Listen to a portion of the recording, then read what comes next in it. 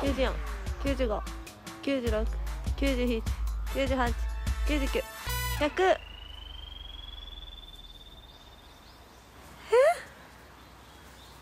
待って何ここ？めっちゃキツネいる。どこ？ここ。すごいところに放置されてしまった。沢野が放置されたのは豊川市の豊川稲荷にある霊子塚。およそ1000体もの狐像が祀られているパワースポット。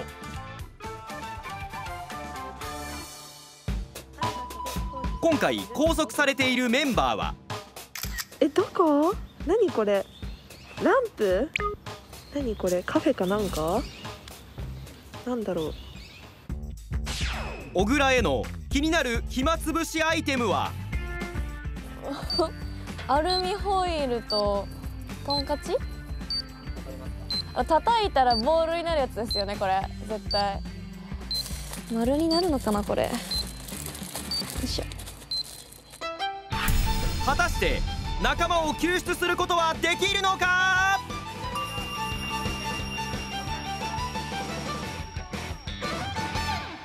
ここさおみくじ売ってそうじゃない？この前もさおみくじ引いて大吉だったから引きたいな。今日のロケ運？おみくじおみくじどうかな？あなんかいろんな種類ある。200円入れて。まあまあまあまあまあまあ。いきますよ。絶対に大吉です。ドン。えっと末吉です。井上さん徳井さん。末吉ってどうですか？方角は北の方がよしなので多分北に私のうせ者はいるはずです。おみくじも引いたことでそろそろ聞き込みをしたいと思います。こんにちは。中京テレビのシャニムニロックっていう番組でこの場所って見たことあったりしますか？あのこの辺にはないな。この辺じゃないですか、難しいこの画像だけじゃなんだろうねこれうんうんうん。いい感じいい感じ。この写真の場所って見覚えあったりしませんか？あえどこだろう？散歩道？散歩道？っかな？ていう場所があるんですか？喫茶店っていうか蜂蜜屋さん。蜂蜜屋さん？それってどっちの方面にありますか？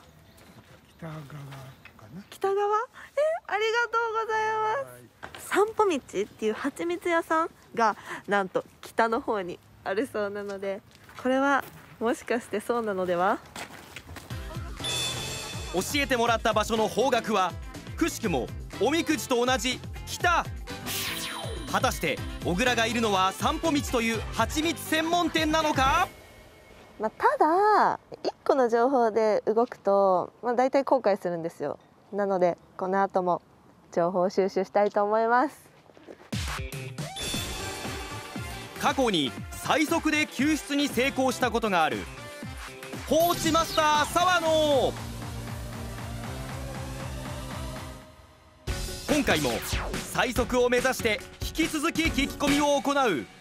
この場所を今探してるんですけど。これって。喫茶店？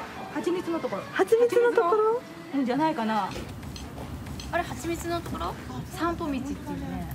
散歩道、今3組さんに聞いて3組さんとも散歩道っていう情報をもらってしかもなんと北もうこれはね絶対そう。